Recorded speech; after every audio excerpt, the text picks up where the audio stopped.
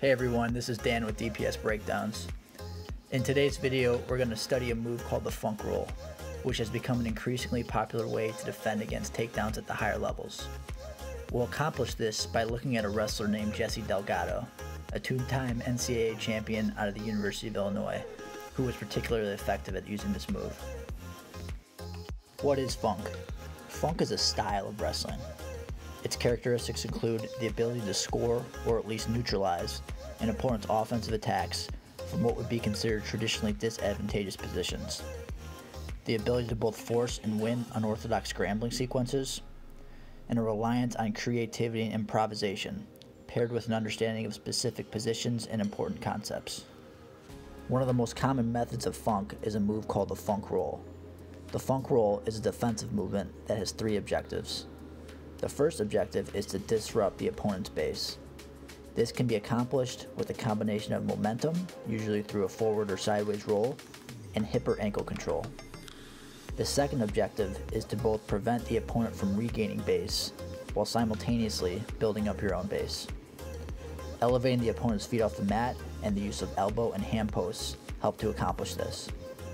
The third objective is to either score or force a stalemate. Let's look at some film to illustrate these objectives.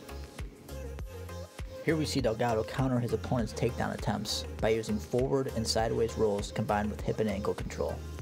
The offensive wrestlers want to maintain strong positioning, on their knees or feet and with their heads upright, but this combination of momentum and lower body control takes them out of position.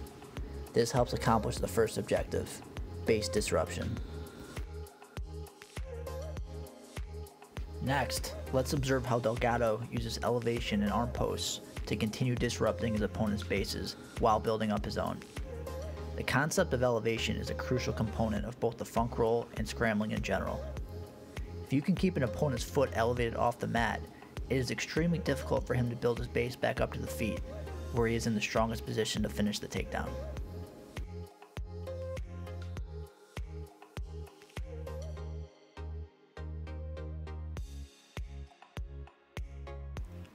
Third and final objective of the funk roll is to either score or force a stalemate.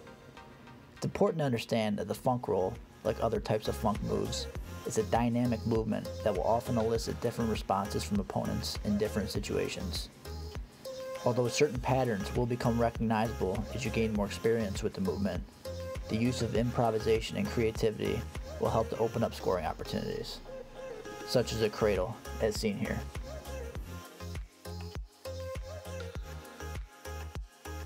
Keep in mind that a funk roll that ends in a stalemate is not a bad outcome, considering that the offensive opponent was initially in a strong position to score a takedown.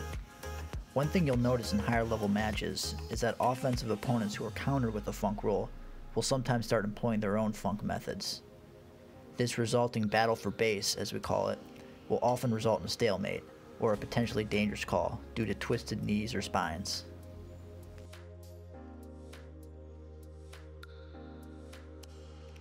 Let's take a closer look at some funk roll sequences. Here, we have an offensive wrestler in on a single leg. Delgado's immediate reaction is to begin diving over his opponent's back, looking to gain hip control. Note that Delgado looks to control the hip on the same side as his opponent's single leg, rather than across the body. Delgado will drive off of his left leg to help generate momentum for the roll. The momentum of the roll, along with the hip control, help to disrupt the offensive wrestler's base. A good indication that an offensive wrestler's base has been disrupted is when he is forced to post a hand to the mat for support. Here you can see that Delgado is beginning the process of elevating his opponent's right ankle off the mat.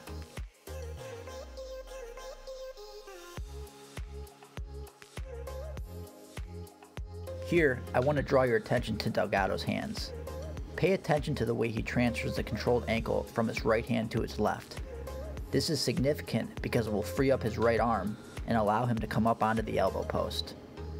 Notice how he maintains the elevation of the right ankle throughout this process. From here, Delgado upgrades the elbow post to a hand post and uses it to build his base up to the knees. With his base now built to the knees and his opponent's ankle still elevated off the mat, Delgado is no longer at risk of being taken down. In fact, he's now in position to turn the tables and score points of his own.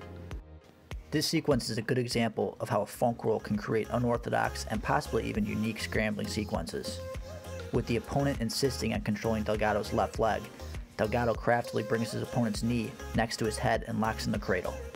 The beauty of Funk is that even elite level competitors can be caught off guard in these unusual positions. Let's see the entire sequence one more time. Remember the objectives. The first is to disrupt the opponent's base with momentum and hip and ankle control. The second is to maintain this disruption through the use of elevation while building up your own base.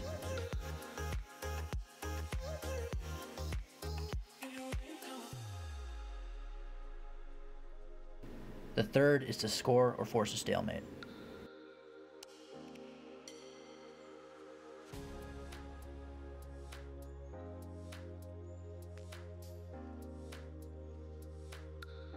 In this sequence, the opponent is again in on a single leg.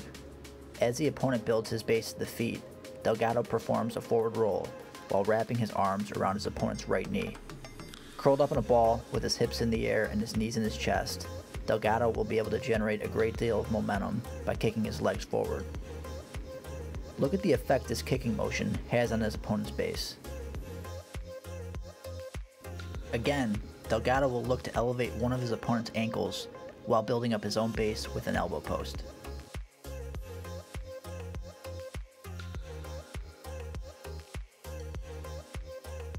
Delgado crosses his opponent's ankles, making it extremely difficult for him to regain his base. The result is a stalemate.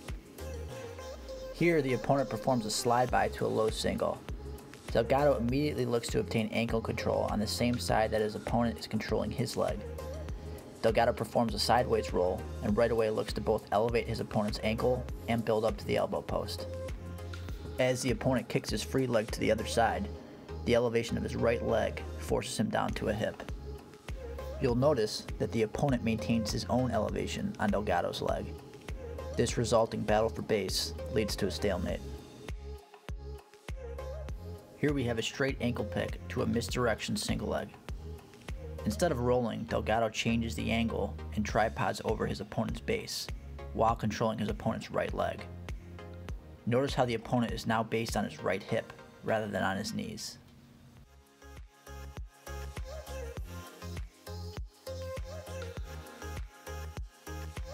we see again the combination of elevating the opponent's ankle off the mat with the elbow post. We'll also see again the method of transferring the ankle control to the other arm in order to build up the elbow and hand posts to the other side. The ankle transfer is crucial because in a given situation, building up your base towards one side will often be easier than building up to the other side.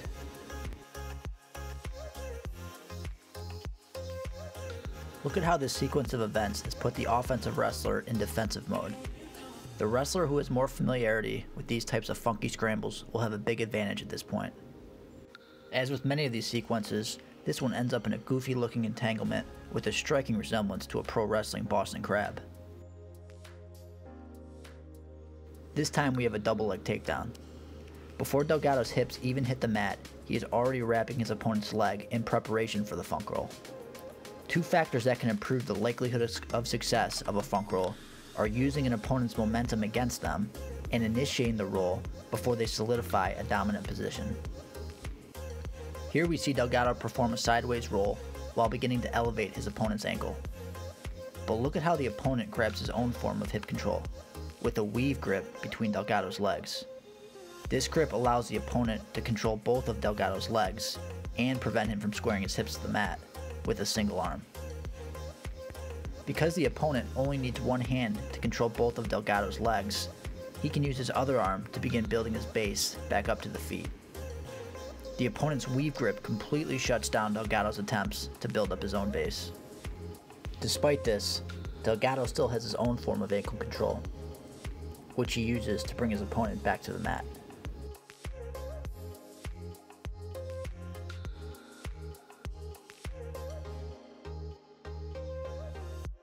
The opponent does a good job of maintaining his weave grip, but he can no longer get back to both feet with Delgado elevating his right ankle off the mat.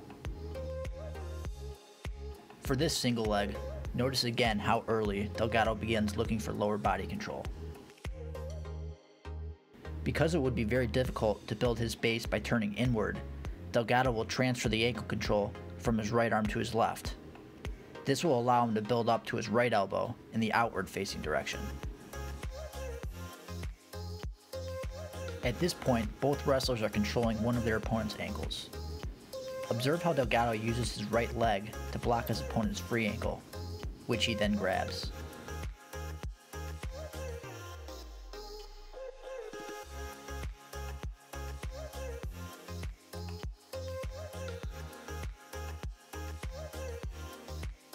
Delgado relinquishes his double ankle control to get behind his opponent, but the opponent continues to maintain his own form of elevation.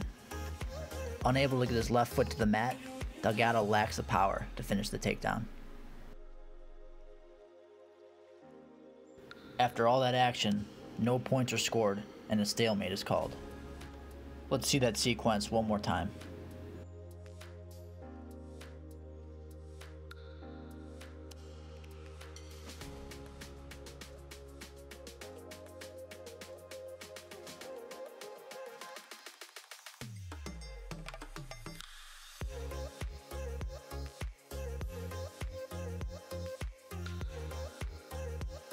That concludes today's video.